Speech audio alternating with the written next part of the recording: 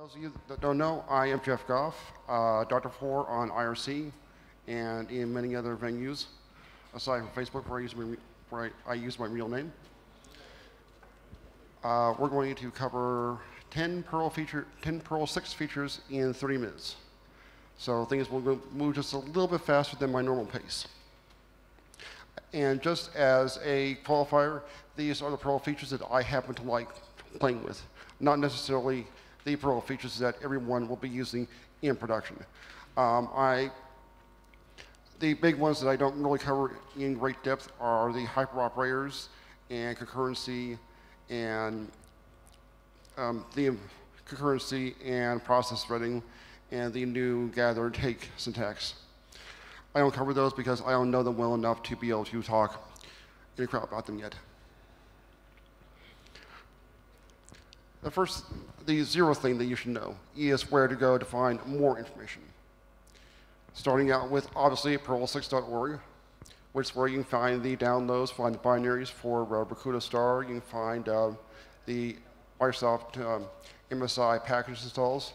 Those are all available there, along with links to projects on GitHub, along with links to the full Perl 6 repository.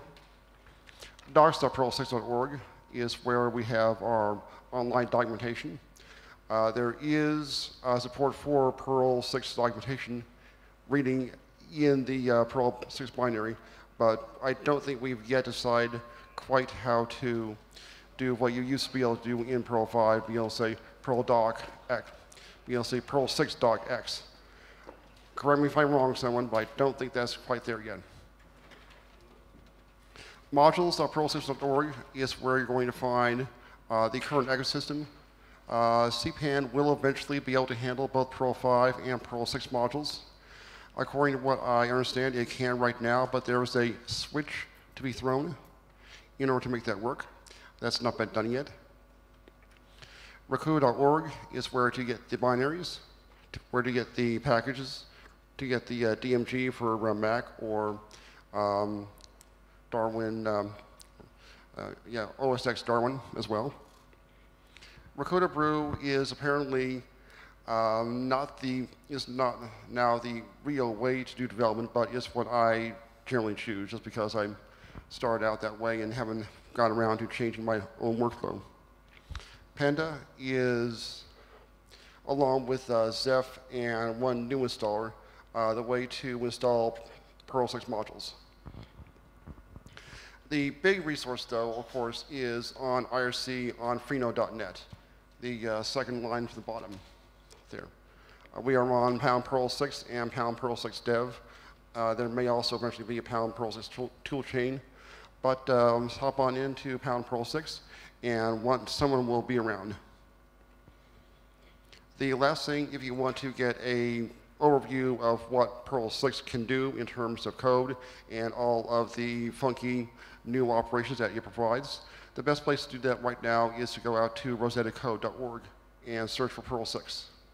To look at, I think right now we have several hundred, maybe, I don't know offhand, uh, at least several hundred um, code samples for doing basic mathematics, for doing uh, games, for doing um, ray tracing even inside there. But let's go over the uh, list of uh, main, let's go over the list that I feel are the important features to play with. Uh, the first thing is that Perl 6 grammar is a single pass grammar so that you only have to ever read the file once. Uh, in Perl 5 with things like um, here docs and the m slash slash operator, you have to backtrack quite a ways in the grammar in Perl 5 and then go back forwards. In Perl 6, it is one pass, and as a consequence, when the compiler has an error, it can stop right there at the error point and give you much better and give you much better error documentation. I'll show you a brief example of that and how we are kind of a, a little bit ahead of the curve of say um, there's been recent um, recent buzz about uh, Swift and Rust error reporting, and Perl 6 is pretty close. Unicode, uh, we are very much Unicode friendly.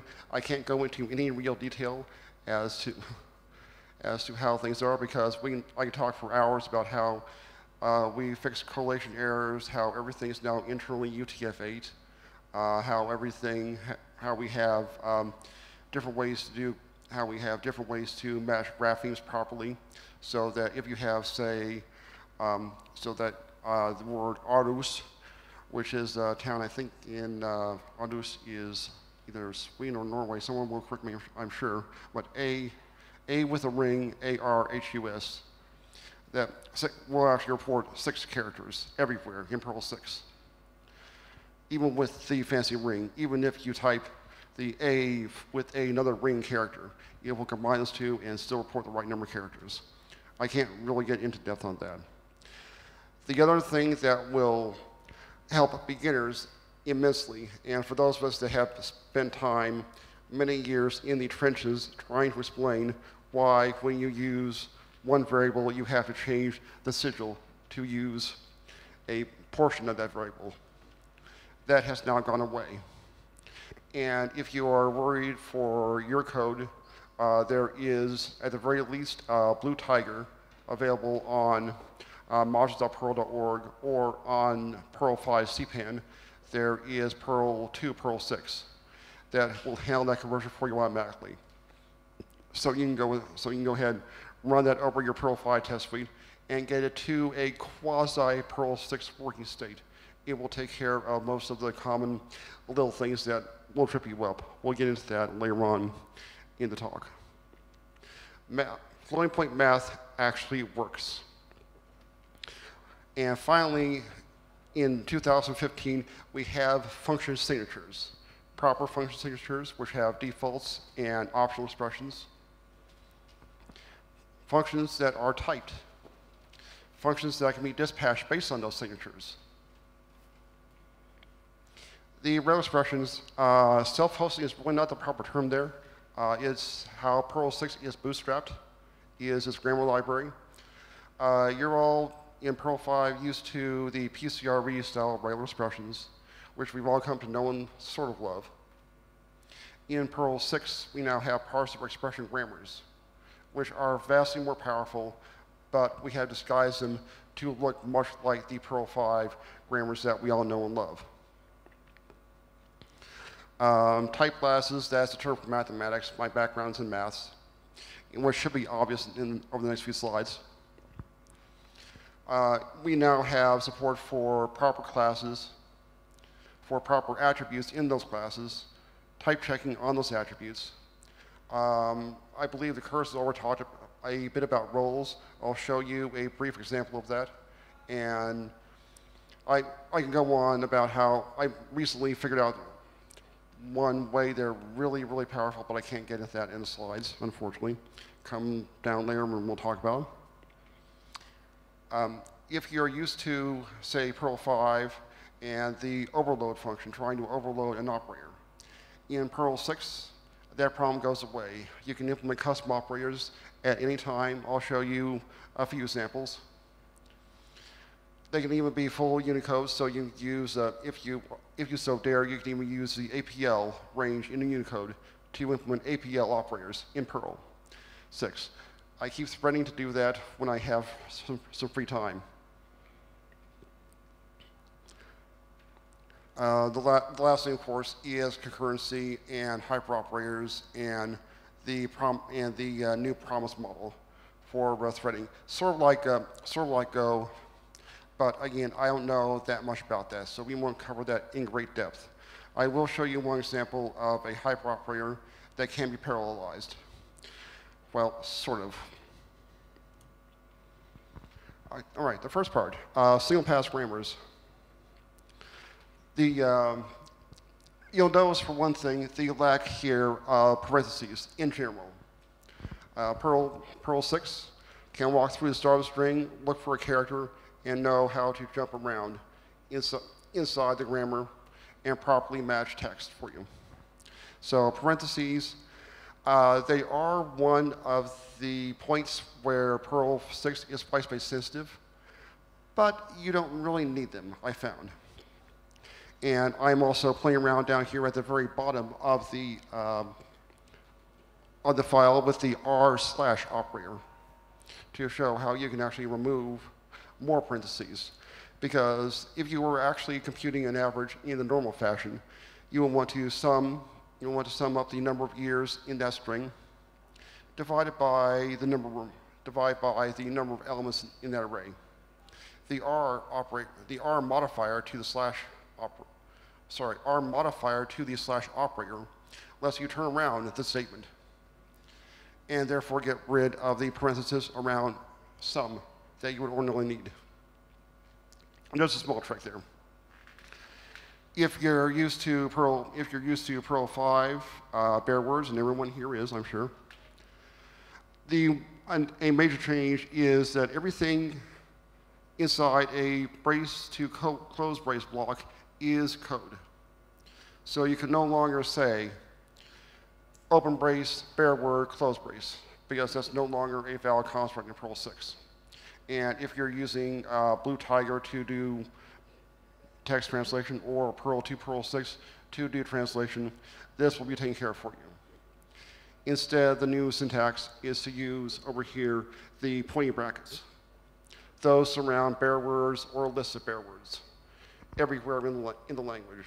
It is consistent, so you no longer need to worry about whether a whether you're looking at say a map method that does a block or whether you're looking at a if expression that is an expression or whether a parenthesis is start of a list or an argument list it's all now been consistent been made consistent error messages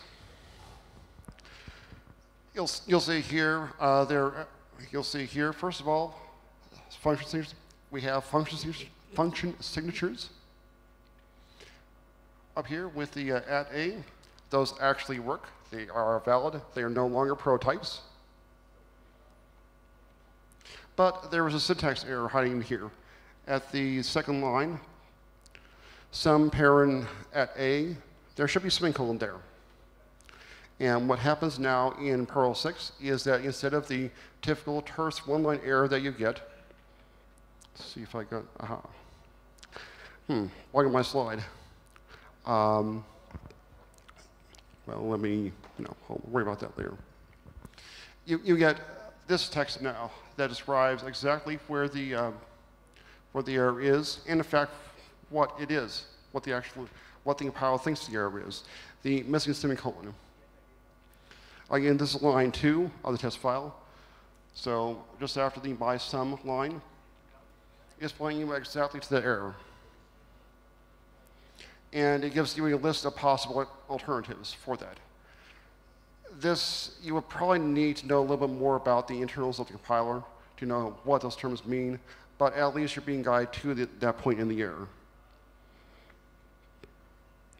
We are very much Unicode friendly, as you can see. We, we have down here the uh, $A, $alpha variable, we, we can use the, either the old-fashioned ASCII slash or the newfangled uh, division sign there for division. And we actually represent, we actually use all of the numbers in Unicode. So if you have a uh, Bengali digit 2, you can, that's just another number 2. If you use a fraction, you have the fraction 1 tenths available to you. And again, dollar alpha, as long as your variable names start with an alphanumeric character, oh sorry, alphabetical character in Unicode, any alpha character, it's a valid variable name. No, you'll see no UTF-8 above. You just have to use UTF-8. Everything in Perl 6 is by definition UTF-8. Now, um, alpha Greek letters, they're kind of a bit old school. But you can even go really old school if you want. That This is a uh, module of mine that is on the uh, modules Perl 6 repository that lets you use Roman numerals. In fact, it lets you use the old, the old, old Unicode Roman numerals. Uh, when you go to Amsterdam next year for YAPC, um, sometime go down to the Westerkerk uh, down by uh, Anne Frank's house.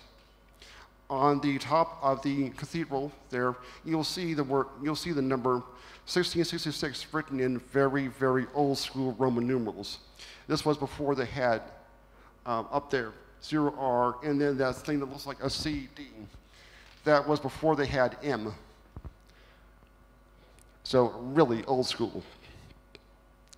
And of course, math works with these. So you can say IV divided by M and get 0.004. I, I had a little, I, I took about uh, two or three days debating whether I should use 1R or 0R because, well, Roman numerals don't have zero. But, I, I but eventually I stuck with uh, 0R to be the same as 0B and 0X, a, a little bit boring. And in my spare time, I'm going to add 0 capital B for Babylonian cuneiform, just to round out, just to round out things. These sigils, as I mentioned before, they, they now actually make sense. At, at, least for, at least for new beginners. For those of us up here in the community that have been working with 5 for longer than even I want to admit, um, this is the biggest change that you'll have working with the language. First of all, you'll notice the uh, missing parentheses around the list there. Again, parentheses are kind of optional now in Perl 6, at least I find. And in my slides, I go to a little bit of trouble to get rid of them, just to prove that, that you can. You declare a variable at powers, and when you want to reference anything in that variable, you now say, you now say at powers brace. Sorry, at powers bracket, or percent power, or percent foo braced or percent foo pointing brackets for the uh, bare word. But, you, but now the rule is simpler. When you have it, when you declare a variable, you always use that variable name later on. There's no switching between contexts. There's no, do I use the dollar sign for a array slice? Because that can actually introduce bugs in Perl 5. Now, it's consistent. Uh, this notation over here, by the way, the colon name is now how you do a key value pair in Perl 6. That is now a default, that's now a basic type, which helps things. So that when, uh, Perl, so that when Perl 6 reads the implicit list there of colon name pairing, parent, whatever, and returns a list of pairs, you get back a, the compiler says, oh, you're returning a list of pairs. You must want a hash. strict typing. Now, I, I mentioned before about math. Perl 6 is actually worse. Um, I, I assume that um, everyone here knows what this statement will, will return in Perl without even thinking about it. It's quite obviously 0.0000001, which actually is 2 to, uh, I'm going to get corrected here, but I believe it's 2 to the minus 48th power because of the way that floating point numbers actually work in binary, according to the IEEE standard. Because you only, you only because obviously a floating point number only has so many digits of precision. So what happens is you add one, you add uh, 0.1 to 0.2, and you get a number with a little bit of round off. It's invisible, it's down in the guard digits, you'll never see that until you subtract the remainder. And then that little round off that accumulates down at down all the way at the 17th digit of your expression shows up. Happens in Ruby too, they make the same mistake. Python, same problem. Perl 6, you get the actual number. That's because what you're dealing with here, instead of 0.1 and 0.5, you're actually dealing with actual rational numbers. Numbers that have both a denominator, have both a numerator and a denominator. So when Perl 6 takes a look at your, at your numbers, it converts 0.1 to 1 tenth, 1 over 10. It converts 0.2 to 2 over 10. And when it subtracts 3 over 10 from 2 over 10 plus 1 over 10. 3, 3 minus 1 plus 2 is 0. So it says 0 over 10, so your answer is 0. And you no longer have to use, if you're dealing with scientific notation or large numbers or large files, you no longer have to use big int, big float, big ret. Those are all built in for you. You can use as much memory as, as you want for your number. And finally, you can take a look down here and see what the actual value that Perl uses internally is. The, uh, everything in Perl 6 is an object. So what this does is, because obviously of the point, because of the uh, decimal here, 0.1 is internally a floating point, sorry, rational number, which is an object, and all objects can have methods called on them. So what the 0.1 parent here does is, is get you back the float, is get you back the rational object, and the nude operator on that strips away the details strips away the covering, so you now see the bare value, which is, of course, 1 over 10. We've already covered function signatures, and here, down here, is a little bit more detail about how detailed uh, Perl 6 errors can get. It will say, sorry, you have a problem here. It will do type checking on your variables. It will count the number of arguments. So plus parent 1, so plus invisible parent 1 comma 2 will be, we'll call the plus operator up there. Down here, plus of 1 comma 2 comma 3 will not. That will fail like compile time.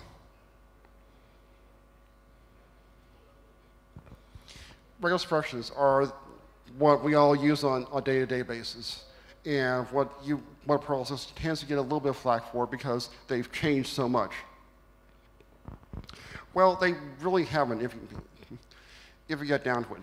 For those of you that use the ability, for those of you that use name captures, that's all these pointing blocks are really hiding inside here. The integer with the pointing block, the stir with the pointing block.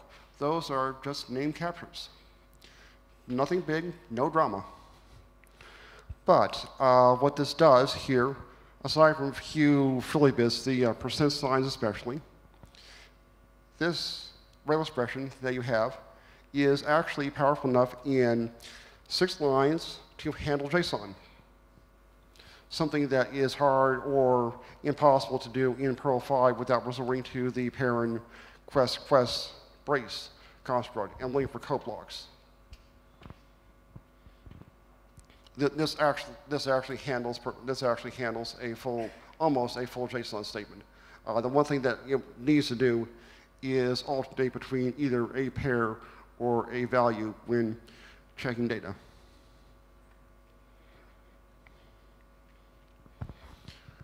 We finally have proper object orientation. We finally have proper classes, and as Curtis has alluded to beforehand, uh, we also have roles, which can be thought of as a segment of a class that you can introduce into any other class. For instance, up here, um, I have a role called humanoid that you can add to any class, and it will give you a left hand and a right hand. Uh, chirality is a fancy term for biology. That just means something has a left hand and a right hand. Like um, trivia bit, uh, the molecule, the, the aroma molecule for oranges and the aroma molecule for lemons are, is the same molecule. It's just twisted one way for oranges, twisted the other way for lemons. No biology note there. We now have enumerated types. So you can look, so you can have a left, so you have here a left hand and a right hand. You can have a setting for effort. If you're, say, doing a role-playing game, that's what I'm working on right now. Here's a little bit new notation. Uh, for those of you that uh, started out, remember back to when you started out in C and, or BASIC or whatever, and wrote down uh, if A equal 1 or 2, and wonder why it didn't work? Because everyone knows that you need to write if A equal 1 or A equal 2. Well, Perl 6, you don't need to do that anymore. With Perl 6, you can finally have expressions like whatever, in this case being the star variable, is going has to be greater than zero and has to be less than 18, all in one statement, no parentheses. And you're not comparing the star variable, which is this right here, twice. And of course, if you're, and of course, since we're doing a role-playing game, we need to, we want to show how that actually all works internally. So you have a character here named Wade. You equip him with two swords and have him attack, say, another random character you create called Francis. Just at random. We have down here the, we have down here actual attributes. Has is how you mark a class attribute. Classes, attributes can be typed. They don't have to be. You don't have to go through and type it and create types for everything and make everything enforce those types, but you can if you want to. And I found that it is a really powerful method to, to go in and start just prototype your class with, art, with random variables, no, no typing whatsoever, and then go in and gradually, in, in Perl code, introduce a new type. Find the errors that, that find the errors that that new type catches, fix those, add a new type to a variable, fix the errors that catches, go on. This is all done at compile time, usually. And it, it gives you a way to gradually ease into your, gradually ease into prototyping and gradually make sure that you have more and more constraints on your code to make sure that it runs the way that you think it should rather than the way the compiler thinks that it should. Finally, uh, I, I've been glossing over this a little bit.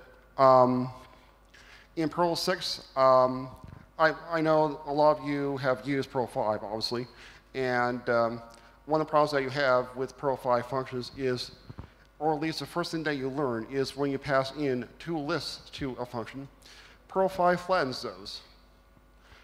It take, if you have, say, sub foo parent, if you call, say, sub foo with at A comma at B, well, Perl 5 does the natural thing and just jams together at A and at B into one list and passes them along to your function. Natural after you've had a few after you've had a few weeks to think about that, after you've been explained after you had this explained to you online, or after you've looked through the documentation and found out for yourself why this actually works in Perl 6, that behavior is now more rational.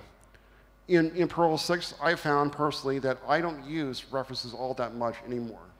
I have a few modules in uh, the modules Perl org that use references, and I'm slowly rewinding those to get rid of references now that I understand how they work. This here, despite the brace, is just a list of lists, not a list of list references not a list of scalars that are blessed to something else. This is a list of lists, much like what you would get if you were, say, working with Lisp or um, Lisp or um, Lisp Forth um, scheme, etc. An, an actual list. So you would be able to reference this now with at with um, say um, at at doctors, you know, outline bracket zero, bracket zero to get the word Tyler out of the string. So you no longer need to worry about references. Last, lastly, at, at least for me, we have, uh, we have custom operators. Instead of the old way to do overloading and strings, you can now do, you can now actually write sigma zero dot dot dot infinity and because infinity is, well, infinity, this actually, well, compiles. It will run. It might take a while. but, it, but this actually will work. if you have a laptop open, go ahead and replace infinity with 10, and it will actually compile and run. And this also shows as well how uh, Perl 6 handles List because they are both because they can be of finite or infinite extent. So Perl 6 will go through the will go through your list and say, okay, the start is zero. You haven't specified any increment, so I'll assume one. So it will add so it will add up zero plus the next element one plus the next element two plus the next element three, and try to do so until infinity or until your disk burns out.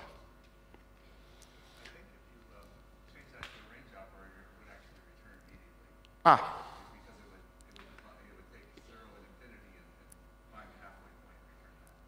Ah. Hmm. Mm, of course. But um, mic drop. Okay.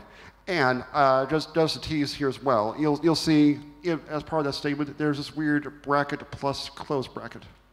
Uh, that is borrowed from, um, I, I, I, first knew about the actual reduce operator in uh, Scheme, but there's also re reduction operators in um, Haskell, in Scala, etc. What that does is takes the list here, f values, and reduces the list, much like a map reduce would in, say, the Google architecture, parallelized as well. So, will, so this will actually, if you give it a finite list, it will parallelize across cores to do the reduce operation in certain situations.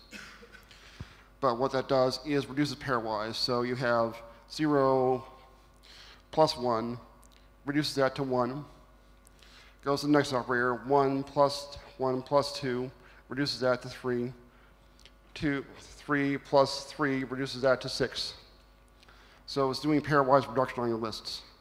I, I teased a little bit about how powerful the new um, how powerful the new operators are with the R modifier to expressions.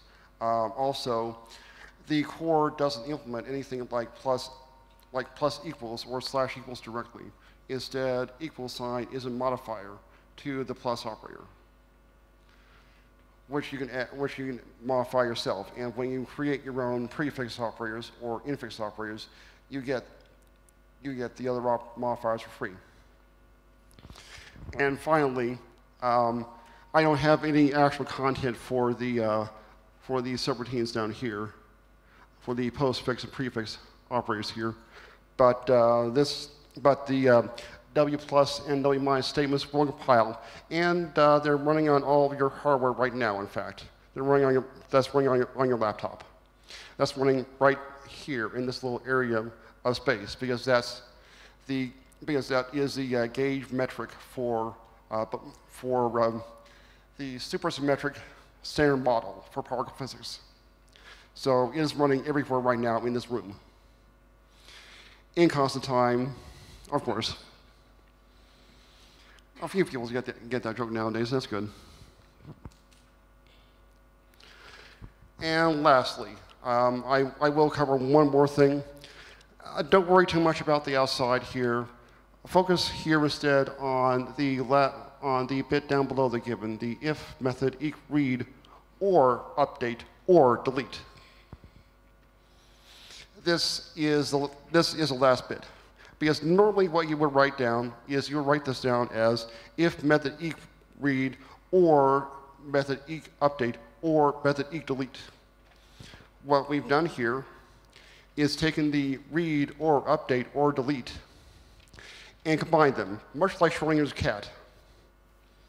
It, they are now existing in a quantum superposition of, of states.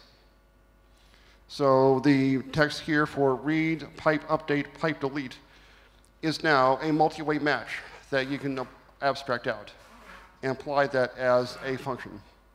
So you could, if you choose, one moment.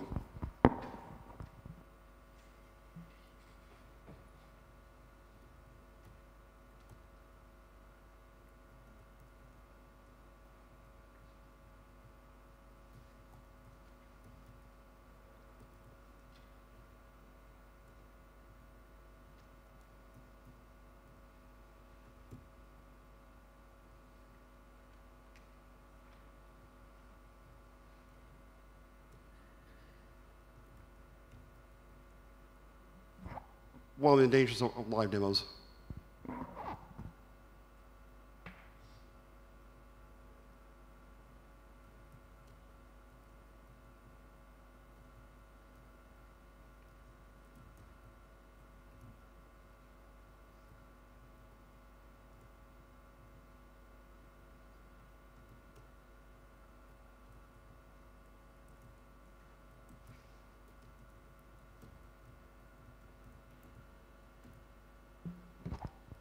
We've now just refactored our expression, our quantum expression, Hmm. our, our non-collapsed, our non-collapsed state of read slash update slash delete into a single variable and applying that to, hmm, and applying that as a method. So we say if method equals a compound quantum state of read or update or delete.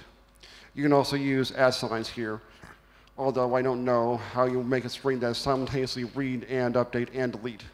You probably could do that with a reg expression. This is a very flexible method, and in fact, you can actually uh, use the same technique here on, say, array elements or on subroutines to create a quantum superposition of your read validation combined with your update validation, combined with your delete validation, all in one sub, all within one superposed subroutine. And I am one, and I am winding up on time now. So thank you. Uh, are there questions? Uh, okay. All right. Thank you very much. Namaste.